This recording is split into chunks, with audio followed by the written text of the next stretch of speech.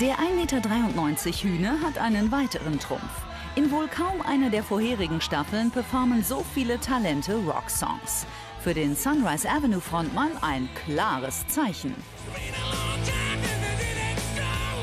Es gibt einen Rockmann hier, der versteht Rock und der sitzt hier. Ich bin hier mit Rock für dich und äh, wir rocken diese Show zusammen. Ich liebe diese Staffel, The Rock'n'Roll Voice of Germany. Samu ist der einzige richtige Rockstar von uns, weil er hat Sunrise Avenue zum Erfolg Weil geführt. er hat Sunrise Avenue einfach auch zu verantworten. Also Samu bezieht sich ständig auf, auf Rock'n'Roll, weil er natürlich in, in der äh, bekannten Rock'n'Roll und Heavy Metal Band Sunrise Avenue ist. Äh, das finde ich aber fair enough, das muss man schon sagen. Also alle Heavy Metal, Rock'n'Roll und Hardrock-Kandidaten stehen natürlich normalerweise auf Sunrise Avenue. Äh, da hat er natürlich einen Wettbewerbsvorteil, das sehe ich auch so, ja. Samus größter Vorteil sein Charme. Auffällig dieses Jahr, der Sunnyboy hat schon zehn Frauen in seinem Team.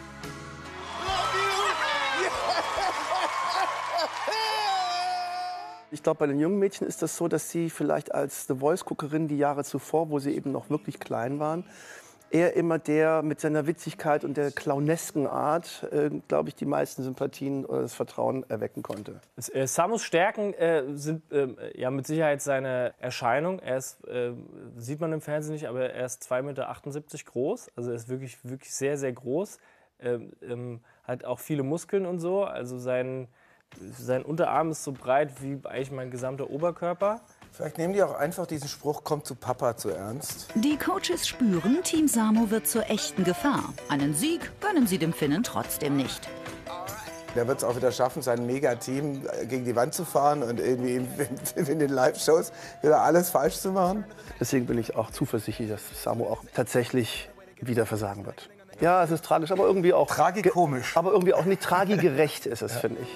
Samu ist siegessicher. Trotzdem bereitet dem sonst so taffen Finnen der Gedanke an eine weitere Niederlage schlaflose Nächte. In Helsinki, es gibt diesen Marktplatz und äh, ich glaube, wenn ich nicht gewinne, diese Staffel, die Finnen machen eine Statue da und es sagt Samo Haber, Verlierer of the Voice of Germany, viermal. Ich muss gewinnen. I need it. Ich kann nie zurück in Deutschland kommen und in die fucking Berlin, Munich, München, Köln, Düsseldorf Flughafen stehen und Mama, guck mal, da ist der Mann, der Verlierer von The Voice of Germany. Forster lernt für die Talente Finnisch. Ich hatte bei dir Kanaio. Ja, Das heißt Hühnerhaut. ja. Hollywooden Kukuloile Ikusesti. Hollywood Hits Forever, habe ich verstanden. Mark hat nicht Finnisch gut gesprochen. Es war total fair scheiße. Ich zum Beispiel spreche Hochdeutsch und äh, Mark Finnisch war nicht Hochfinnisch, war Unterfinnisch. Das hat er gesagt. Zu mir hat er gesagt, ich war super. Das ist eine sogenannte Hevitemys. Eine Frechheit. Ich glaube, dass, dass, ich da, dass alle Finnen mir recht geben würden, wenn ich sage, Finnisch ist auch wirklich eine beknackte Sprache. Das versteht ja kein Mensch, was hier los ist.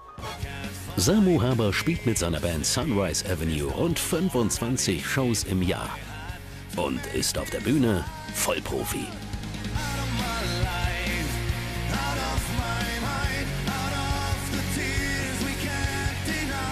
Doch selbst der coole Finne hat vor allem zu Beginn seiner Karriere immer wieder mit Lampenfieber zu kämpfen.